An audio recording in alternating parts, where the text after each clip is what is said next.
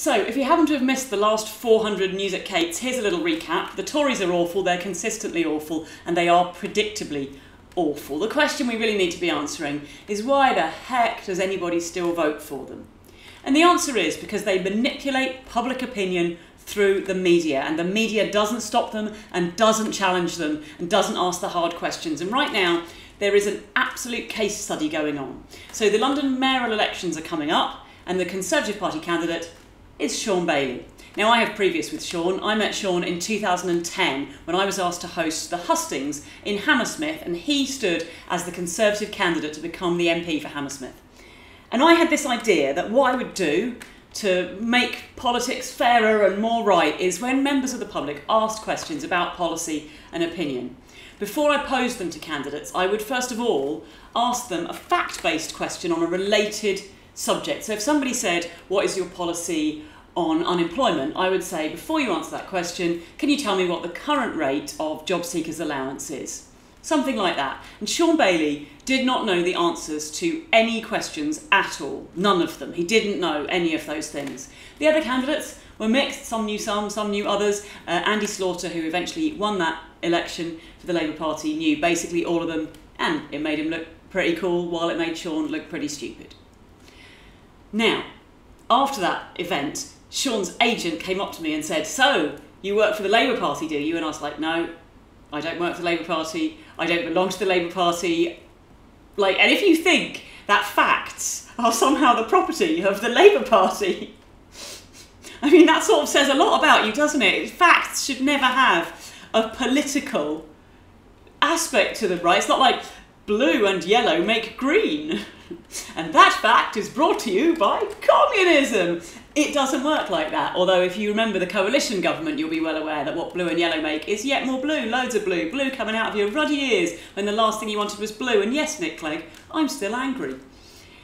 So, here's the background on Shaun. Here's what I know about him. His big thing is that he founded a charity called My Generation, which is supposed to help people from council estates, from difficult backgrounds, to get into work and help people get off drugs and get their lives together. Right? Brilliant idea. This was part of David Cameron's big society. It was a big feature of that. And the whole idea was that the government shouldn't be doing these kind of things, helping people out. Society needs to come together. Society needs to come together and help each other and support each other.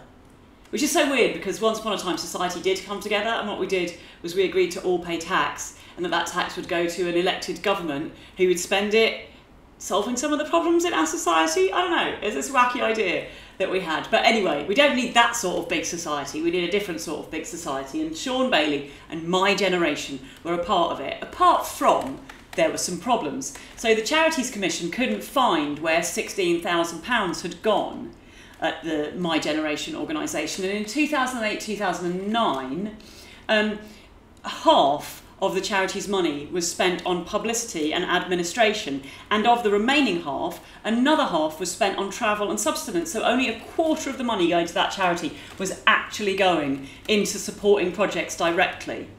And I am not somebody who, who is angry that Just Giving took a fee when they were processing Captain Tom's donations. I think charities should take an administrative cost out of donations and should pay their employees a wage that they can live on, should promote them when they get the opportunity, when they've worked hard, should be able to hire top chief executives who can reasonably expect to command a wage because I think charities should be brilliantly run by people who are brilliantly compensated for it and I don't think anyone should be told you have to work for free if you work for a charity. But nonetheless if your charity spends three quarters of its money not actually doing the things that it's supposed to do but on publicity you've got to wonder is it a charity or is it a publicity organisation to promote Shaun Bailey. And interestingly, around the same time that that all happened, Shaun was also involved with the Centre for Policy Studies. And that's a right wing think tank. It was founded by Margaret Thatcher and some others. And he was helping them to produce papers. And I've had to look at some of these papers, they're available online. And in them, he says vile and obnoxious things about single mums about young women growing up on council estates. He says things about the black community that I am really, really uncomfortable with. Horrendous stuff. Things that if Diane Abbott or or anybody on the left said it, it would be all over the tabloids.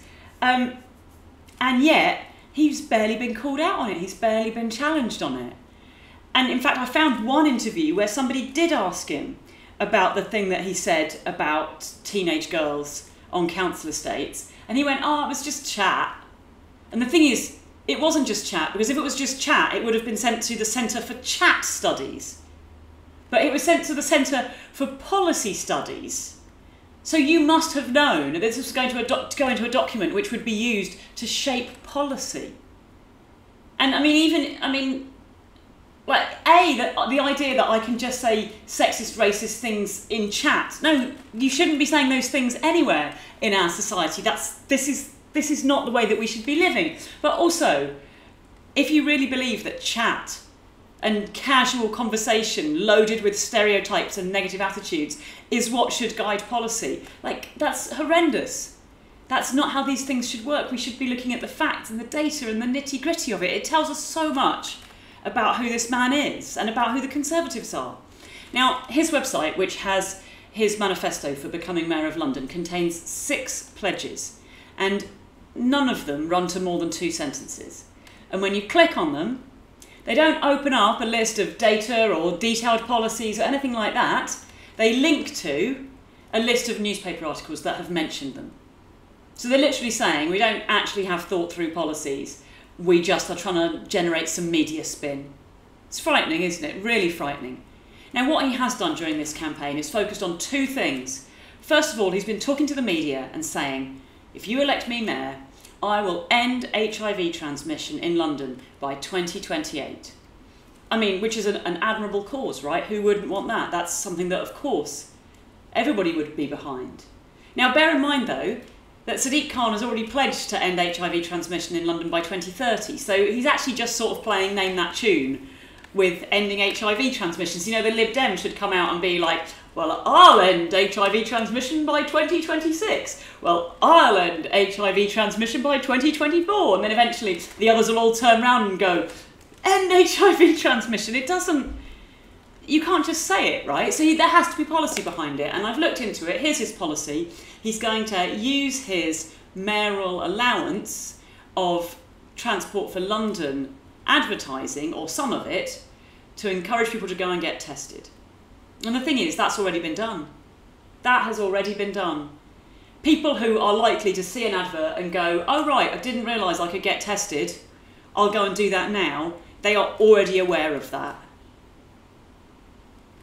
And we've made great inroads into slowing the transmission of HIV. And if we are going to actually end it, we now need a really nuanced, detailed policy that looks at deep seated homophobia in certain pockets of society and people who feel they're not able to come out of the closet people who are living their lives in secrecy and therefore are afraid of going and getting tested and who are not getting good access to information that they can use to go and get support. And you know also testing right the way across the community including people who are not in at risk groups and therefore may not be being as careful as those who know they are at risk. The other thing we can and should be doing is encouraging the use of PrEP so there's a drug called PrEP. You take one tablet a day, and then even if you have unprotected sex with somebody who is infected, your chance of catching HIV from them is, is reduced by more than 99%. It's an incredibly effective drug. And only a few years ago, newspapers like the Daily Mail were referring to it as a lifestyle drug and criticising the provision of it on the NHS by saying, oh, who's going to lose out? People with cancer, children with congenital conditions, which totally misunderstands and puts us in this ridiculous position of feeling like one person's vital life saving drug must be taking someone else's away. And it's absolutely not true. And if we've learnt nothing from watching It's a Sin, it is surely that we cannot turn to the Conservatives and expect them to have a nuanced, compassionate, thought out policy when it comes to an issue like this that has sensitive overtones, that has issues at the heart of it that they are historically awful on. And if you're not even going to address that, oh, I'll just whack up some adverts. It's meaningless, isn't it? At the start of this year, it was the government's policy, thanks to years of campaigning, that they were going to ensure that funding was provided for anybody across the UK who wanted to be on PrEP and that funding was delayed because of COVID, and we now have no date for when it's coming through. But let me just be clear, clear, clear.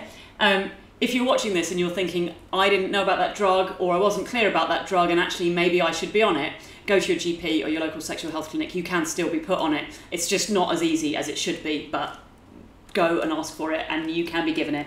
It's not a question of uh, it's not a question of it not being available. It is, and in fact, the more people go and ask for it, the better. Great.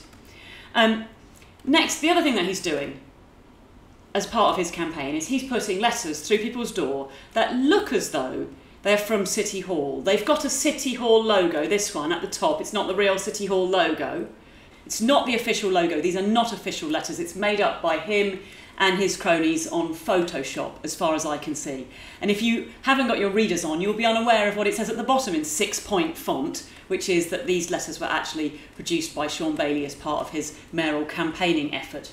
These letters claim that if you live in London, your council tax is going to go through the roof because of actions taken by Sadiq Khan. And that is hugely, hugely misleading. The reality is this when the pandemic struck, Transport for London lost a huge chunk of its income because people weren't travelling. And they did all the sensible things. Yeah, they encouraged people not to travel because it wasn't safe. They told people only only go on the trains if it's essential. They said if you can walk, if you can cycle, do that instead. Avoid the trains, avoid the buses if you possibly can. And what they didn't do was they didn't slash services because they knew that if they cut back on services, that would force people to not be able to observe social distancing. And those who did have to go to work, like key workers, would be forced to get to be close together. They also brought in extra sanitation, they brought in hand sanitizer at stations, they brought in extra cleaning staff, they did all kinds of stuff to keep us safe. And as a result of their continued efforts, one of the side effects of the pandemic was that one of the worst death rates from COVID 19 has been among London bus drivers who put themselves on the line continuing to run services in order to keep key workers and the rest of us safe. And so Sadiq Khan asked the government to bail out Transport for London and the government offered them much less money than they needed, and most of it came in the form of loans and not grants, and it came with a bunch of conditions.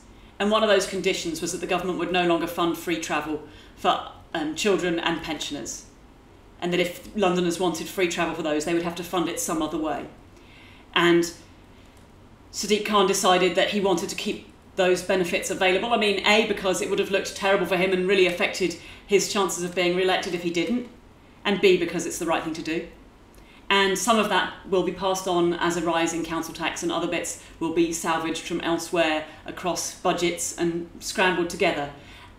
So there is a council tax rise coming, not because that's what Sadiq Khan has chosen, but because that's what the Tories have forced on London and have forced on Transport for London, because the other alternative was that they were going to force young people and pensioners to pay for their travel, which is something that I'm, I'm very proud we're not going to be doing and yet these letters they're just they're just a lie. It's just nonsense. And many of the newspapers have just regurgitated this as though it's a fact. Khan plans a huge rise in council tax. It's absolute nonsense. He's doing everything he can to prevent that from happening. And these letters are completely dishonest and it's absolute bullshit. And we need to somehow have a system where the Conservatives are not allowed to manipulate public opinion like this and potentially leave us on the point of electing somebody who doesn't even know what the rate of job seekers allowance is and is absolutely bloody rubbish doesn't have any real policy. It's all just chat and flim flam and unsubstantiated. It's just appalling. And I, there isn't a magic answer. Um, please fund my videos because I will go and do this research and I think it's important. Please share my videos, send them to your friends. Um, click follow, click subscribe. Um, you can go on Patreon and just click follow. You can go to my website and give me your email address and I'll let you know what when I've made new videos and what's coming out and find other reliable news sources that actually do the research and swat up on them and tell people because we have to do better than this. And obviously don't vote for Shaun Bailey because please, please, Becoming Mayor of London is where Boris Johnson started. See you next week, guys. Sorry this is such a long one. It was just a lot to say.